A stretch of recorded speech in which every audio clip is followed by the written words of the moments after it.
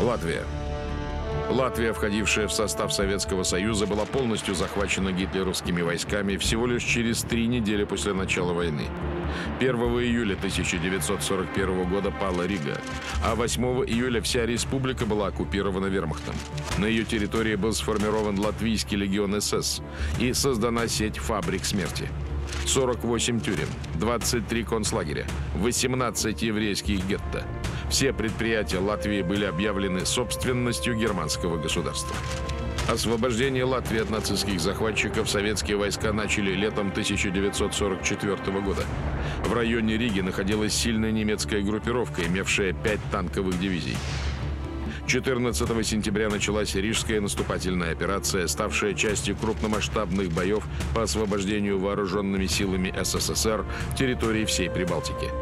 В результате советские войска нанесли поражение гитлеровской группе армии «Север» и 15 октября освободили Ригу от немецких войск. В боях за Латвию погибли около 150 тысяч советских солдат и офицеров.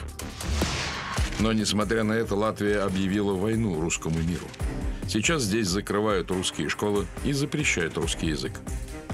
На территории страны не только открыто проходят неонацистские акции, но и выпускаются книги, реабилитирующие нацизм.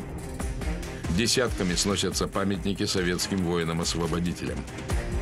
Латвия забыла, что своей жизнью, жизнями своих граждан она обязана именно советскому солдату.